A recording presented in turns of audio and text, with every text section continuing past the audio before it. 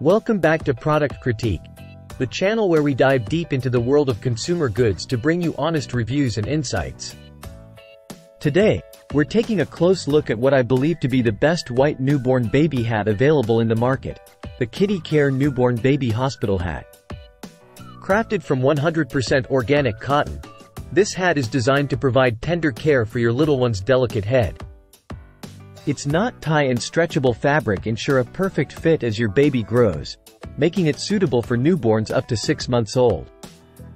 But what sets this hat apart is its super soft and breathable fabric.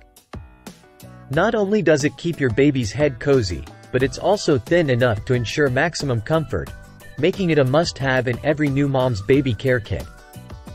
Now, let's talk about why organic cotton matters.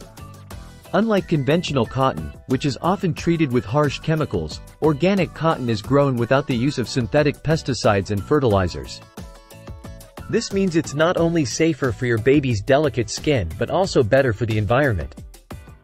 In conclusion, if you're looking for the best white newborn baby hat that combines comfort, quality, and sustainability, look no further than the KiddyCare Newborn Baby Hospital Hat. Trust me, both you and your little one will love it.